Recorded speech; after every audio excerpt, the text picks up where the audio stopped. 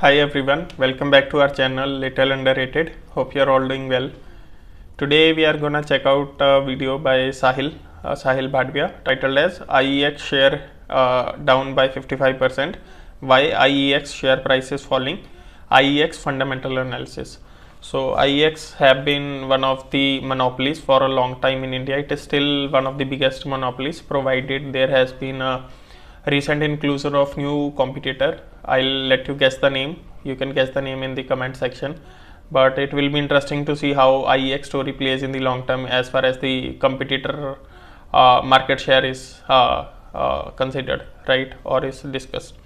But the share has been correcting a lot. It has corrected more than around 50 percent. Uh, the figure he has mentioned in the caption is 55 percent. But uh, some of the uh, investors who have been holding this stock for from let's say one year or more than a year still has faith intact in this stock uh, now uh, i'm expecting sahil might talk about uh, what he feels regarding the stocks. Uh, is the growth factor intact? How this stock will play in the long term as far as his analysis or consideration is concerned? And whether the existing investors should be holding the stocks or uh, should be churning out or selling the their equity holdings in IEX or the newer investor should be jumping in to buy the stocks provided it has corrected a lot. So let's jump to the video for more details.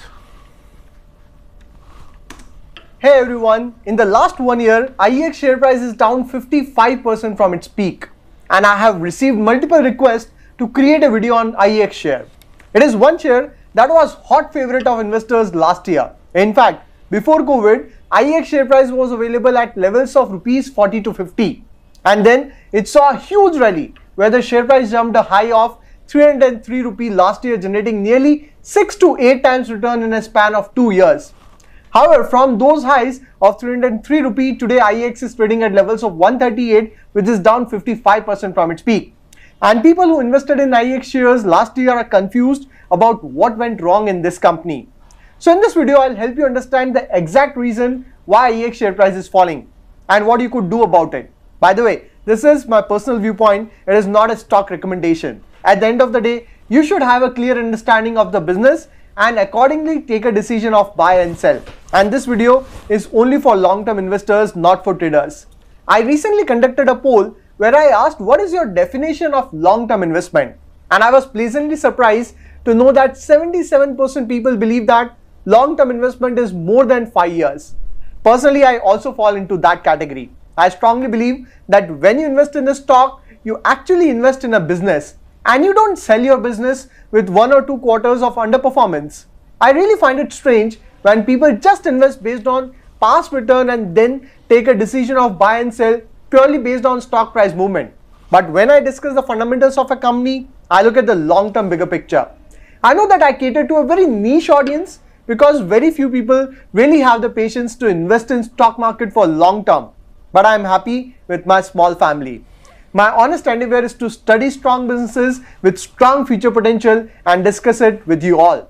In the last one year, I have discussed the fundamentals of many companies, but since in last one year the market has corrected, many of the stocks I discussed are down. But the stocks are still fundamentally strong and this correction has created a good opportunity to add them in the portfolio.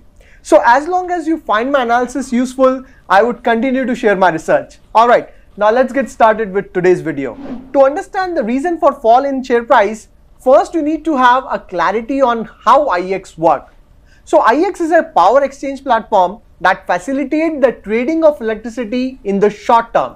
It means buyers and sellers can visit IEX platform and buy and sell electricity. So electricity trading happens in two ways. First, long-term power contracts where discoms, that is electricity distributor, enter into a multi-year deal with electricity power producer. This deal could be as long as 15, 20, 25 years. And second, short-term contracts where the electricity contracts happen for few days to few weeks. If you look at the last year of data, long-term contracts represent 86% of power trading and short-term represent 14%. Within short term, 7.7% contribution is from power exchanges like IEX. So it represents a very small portion of overall power trading. Now it is very important to understand what happened during COVID. During COVID, there was less demand for electricity due to lockdown as the manufacturing facilities were not running at full capacity due to lack of demand for products. And there was ample availability of coal. Hence, there was more supply and less demand for electricity. As a result, the electricity prices went down. In FY20, average electricity price was rupees 3 kilowatt hour. It further dropped during FY21 to 2.82 kilowatt hour. It was because there was ample supply of electricity due to coal availability and the demand was less. So if you have high supply and low demand, the electricity prices would obviously go down.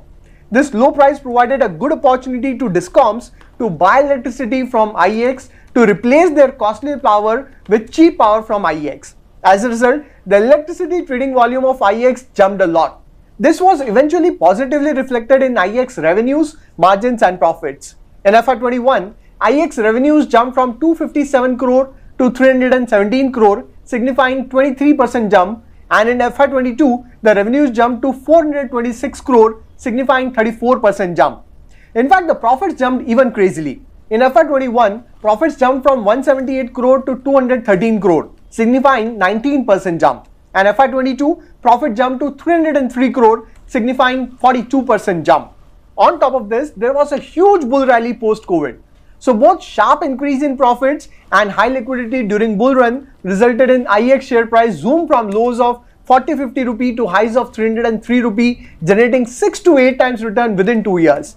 This made IEX share price super expensive. At its peak, IEX was trading at P ratio of 100. So I hope now you got an understanding of why IEX price jumped crazily during COVID. Now let us try to understand why IEX price has fallen 55% from its peak. Post-COVID when economy started reviving, the demand for electricity started increasing. Initially this demand was under control but eventually this demand jumped significantly. As a result, there was acute shortage of coal. Hence there was not enough supply to meet the demand. So now the situation got reversed. The demand jumped significantly and the supply fell down heavily. So due to low supply and high demand, the electricity prices jumped significantly from the lows of 2.8 rupee kilowatt hour in FY21 to 6.6 rupee kilowatt hour in FY23. As a result, the electricity trading volume fell down on IEX platform. This eventually impacted company's revenue and profits. Revenue started falling from highs of 114 crore in December 21 to 95 crore in September 22 quarter and profits tanked from highs of 80 crore to 70 crore. On top of this, we saw a sharp fall in liquidity in the market. Hence, IEX saw profit booking after huge jump and the share price tanked to current levels of 138 rupee. I hope now you got a clear picture about why IEX share price has tanked badly. Moreover, there were concerns regarding the new competitor of IEX named Hindustan Power Exchange promoted by PTC India, Bombay Stock Exchange and ICICI Bank. So IEX that once dominated the power exchange market with nearly 90% volume is now facing a new competitor and that also impacted investors' confidence. In terms of valuation, IEX ratio has fallen from highs of 100 during bull run last year to current levels of 42. So now from valuation perspective, IEX is available at decent levels. Now the question is, what should you do with IEX share? For that, you need to understand the future. First of all, fundamentally, there is no problem with the company. The fall in share price is due to external event due to sharp jump in coal prices which impacted companies trading volume and profits and eventually that got reflected in the share price. So fundamentally IEX is still strong. As far as future is concerned, I strongly believe that the future of short-term power trading is very bright. As we have discussed, power trading from platforms like IEX contribute just 7.7% in total power trading.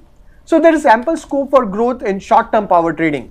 Then there is one big trend of renewable power production using solar, wind and hydro and this trend would continue in the future. In fact, there is a democratization of power production. Earlier, the power production was mainly limited to a few big players like NTPC. But now, many people are installing solar powers at their rooftop and eventually, they might also start trading power on platforms like IEX. Then electric vehicle would be the future and there will be huge requirement for electricity. This will eventually increase power trading on platforms like IEX. Although the biggest factor that would drive the share price of IEX in the near term would be the coal prices. After the sharp jump, coal prices are now expected to soften. Moreover, now the winter season is starting which is a lean period for electricity consumption. So that would also result in higher availability of power supply and hence fall in electricity prices. This should result in increase in power trading volume on IEX and ultimately increase company's revenue and profits. So if you are an existing investor in IEX, there is no need to panic. Company is fundamentally strong. Yes, last year IEX price jumped crazily, but after this fall, IEX now looking very attractive. So you can hold the share in your portfolio. In fact, you should keep an eye on the quarterly results and if the quarterly results start improving from here, then you can even consider adding IEX in a systematic manner. But yes, don't do panic selling. I believe that the worst is over for IEX and there is limited downward risk in the share price from current levels. And for the long term, the future is certainly bright.